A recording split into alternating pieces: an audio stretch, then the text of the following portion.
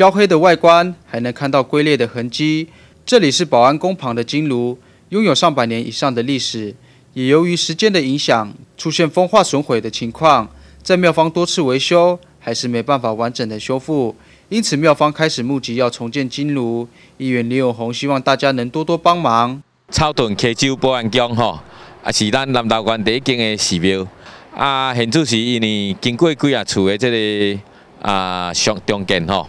啊尤其伫庙里啊，现主是搁买一块庙地金炉嘛，已经真旧啊，所以地方的管理员会发起着这个啊重建金炉的这个活动。啊，咱若来甲这个五虎王爷、溪州保安宫来甲伊参与的时阵，会当来甲咱啊五虎王爷帮忙。互，咱的金炉吼，会当赶紧顺势来改完成。由于保安公司地方民众信仰中心，因此会有民众上香燃烧金纸祈福的需求。而现在环保意识的抬头下，这次重建金炉庙方希望以环保炉为主，让民众燃烧金纸祈福的同时，能减少产生的空气污染，达到环保永续的目标。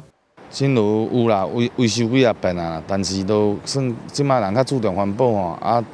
这较早做的都嘛无较环保吼，啊，咱即卖先都要做新的，咱要做环保炉安尼啦。议员李永宏表示，目前重建金炉资金募款已达到五分之二，还有五分之三的目标，也请大家能够多多乐捐重建金炉。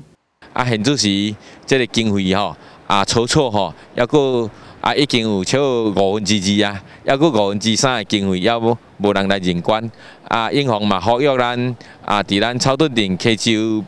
庙保安宫附近这乡亲时代，咱会当共同来甲咱溪州保安宫的五虎王爷来甲伊斗帮忙，互咱的地方会当平安顺遂安宁。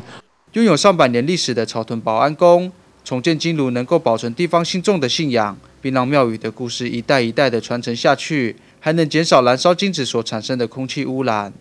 民意新闻蔡颖杰草屯采访报道。